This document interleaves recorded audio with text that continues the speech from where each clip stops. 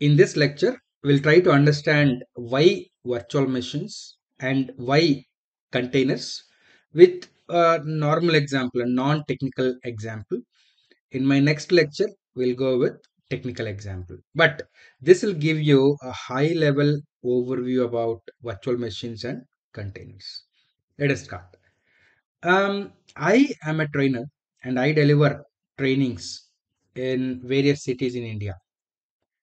So actually, whenever I travel to another city, I stay in a, uh hotel or in a guest house provided to me.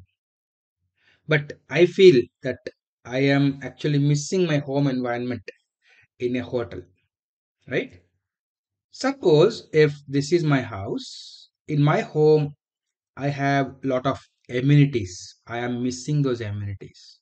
I have my own maid for doing house chores, and also I have my own cook and a lot of other amenities. When I go to a city and I stay in a hotel, I feel like I'm not in my home.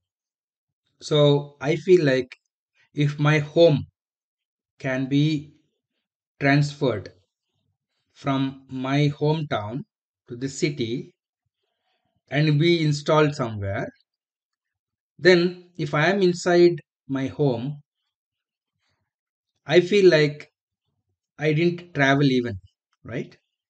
I feel like I am at home. I have all the amenities, whatever I used to have at my home. And also, I'm getting all the services of my maid and also my cook, etc. So, if my house can be uh, transferred, normally for transferring from one location to other location, we use something called the shipping container.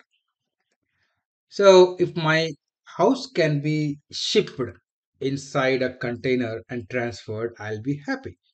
So nowadays, if you see shipping container homes are common. These are the shipping container homes. These homes can be shipped inside a container to some other location. These are becoming famous. So if I can build my house in such a way that it can be shipped from one location to another location and can be installed, it will be good, right? So not only shifting homes, now if I need to get the same feeling as my original home, my maids, cooking and laundry, whatever services I have in my original home, I need those same facilities here also. So they also needs to be uh, transferred. Okay, fine. So uh, we need something to be containerized so that I feel like I am living in my own home, even though I am actually transferred to a different city. Fine.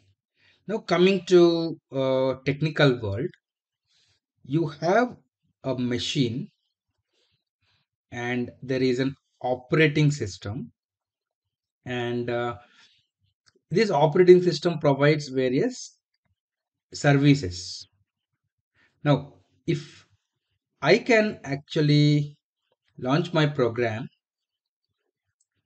here my program which is running here can actually use the services provided by the operating system now if there is one more machine where I have a different OS. Assume that you have Ubuntu OS here, and here I have uh, Red Hat OS. Now, if I actually run my same program here, again, the environment in which my program is running is different. It is running in a Red Hat environment. So it is like I am in a hotel with a different kind of environment. So what I want is, I want my entire operating system and my program to be packaged so that I can launch the same environment somewhere else also. So if you are uh, if you are knowing about virtualization, you know that you can create a virtual machine first with an Ubuntu OS. On top of it, you can copy your application and you can create a virtual machine image once you have a virtual machine image, this image contains the operating system as well as my application. Whatever my application requires. Suppose if my application requires Java and uh, MySQL database and whatever RabbitMQ, all are installed on this uh, machine and I have an image. Now, if this image can be used to create a virtual machine instance, do I get the same environment like same Ubuntu OS? And here also I have Java, uh, MySQL, RabbitMQ, and my application is running here. So my application will be running in the same environment as before. So uh, we can use virtual machines. So if I'm using virtual machine, I, it is like I am shipping my entire home in a container and installing it at other city, right? But now let us see the problem. Whenever you are shipping, you are shipping uh, the entire operating system as well. So whenever the application has to start, the operating system also has to start so that it can provide us all the services required as well. So it's like shipping the entire home. Okay. Now let me go back to here. Hey, um, I don't want my entire home to be shifted. Uh, I have my room. In my home, I have my uh, room where I work or wherever I sleep, etc. Most times I spend here. So instead of shipping the entire home, what if I can actually only ship only my room into another home, right? Suppose in uh, a city, there is a home already, there is a house already. In this house, if I can actually uh, ship only one room and install that room here inside that house, this house is already having a maid, a cook, and laundry service and all. So I don't need to actually uh, transfer all my maids, cook, etc. In this home already there are maids, cook, etc. I just need to transfer only my uh, room. So um, don't you think that it is easy to transfer a room than transferring the entire home and installing the home? Right. So that is the idea. Now coming back to technical details. Uh, suppose if I have a machine in that um, I have already I'm already having a, a OS Ubuntu OS suppose now suppose if I can create some isolated process a process let's say process P1 it is totally isolated from some other uh, processes which are running in the same operating system.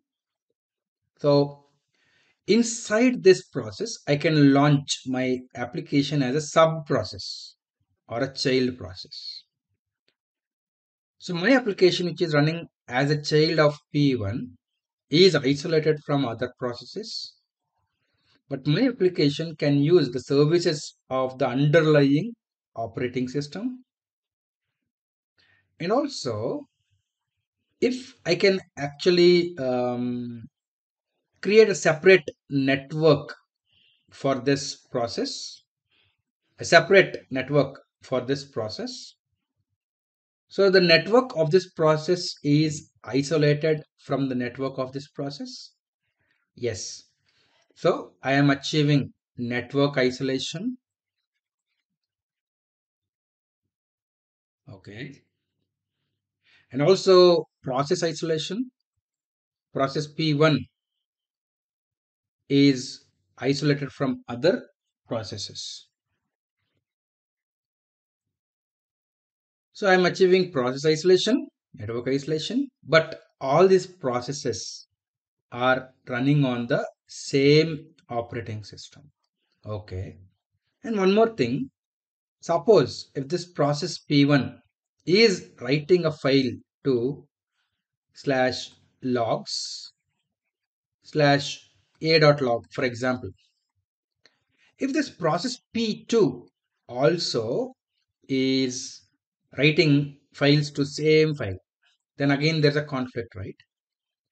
That means the file system seen by process P1 and the file system seen by process P2 should also be isolated.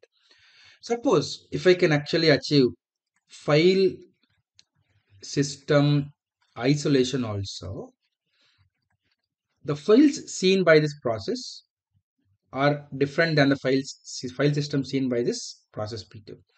So if I can achieve all this isolation, right? But these two processes are sharing the same underlying operating system. Then to launch my application, what I need, I don't need to have the entire operating system launched. Just in case like virtual machines whenever you have a virtual machine image and if you want to launch your application you need to first uh, launch a virtual machine with this os the operating system has to be booted then only your application will start. But here already a machine is up operating system is running. Inside this i want to launch my process right so my application should be having process isolation network isolation file system isolation etc so once i have my application running like this if i can save the state of this process this is also a image. Now this image contains uh, all the files required by my application and also the environment required by my application. So uh, once i have this image I can load the same image and can start another instance of this process easily on the same operating system without having to reboot this operating system. Without without having to boot this operating system? Yes. So basically it is like having only my room shifted inside another home inside another city right only I am actually transferring my room. But I am transferring my room into another house which is already having the maid, cook, whatever. Right? So this is like uh, shifting my only room where I have all the underlying facilities which is much easier than transferring the entire home. So here this is called as a container. So I can actually create an image of this application which has all the required dependencies like if my application requires some files operating system utilities everything can be packaged inside an image. We call this image as a container image. Once we have a container image we can launch that container image on any of the operating system. Suppose if I have a machine with some OS, like say Ubuntu, then what I can do? On top of this Ubuntu OS, I can actually load my container image and start a process. I can actually load the same container image and I can start one more process. So these two processes are running on the same OS. They are sharing the same underlying OS.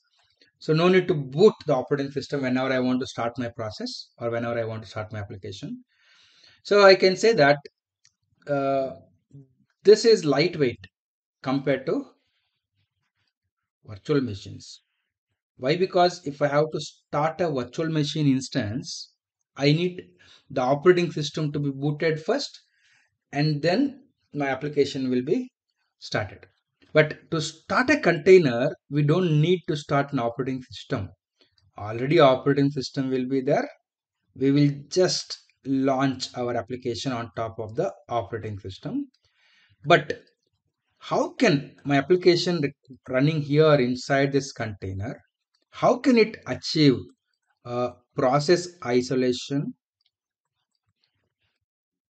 How can it achieve a file system isolation network isolation? We will be discussing in detail in my next lecture. Okay? So now understand that container running a container is similar to running uh, application inside your VM. The only difference is every virtual machine will have its own OS, but containers need not have the entire OS. They will share the underlying operating system. So it is like uh, shifting only one room into another home in another city. It is not like entire uh, home I am shifting. So if you are shifting the entire home inside a inside a shipping container, it is this is equivalent to a virtual machine. A virtual machine should have its own operating system and all services, right? But shipping only one room in a home is like a container. So for the container, all the services are already provided by the underlying operating system. It is easy to transfer a container and it is easy to start a container than starting a virtual machine. So I hope you have got the basics of what is a container and what is a virtual machine. Don't worry, we'll go deeper and we'll see how to achieve these isolations. How to actually start an application in my own container.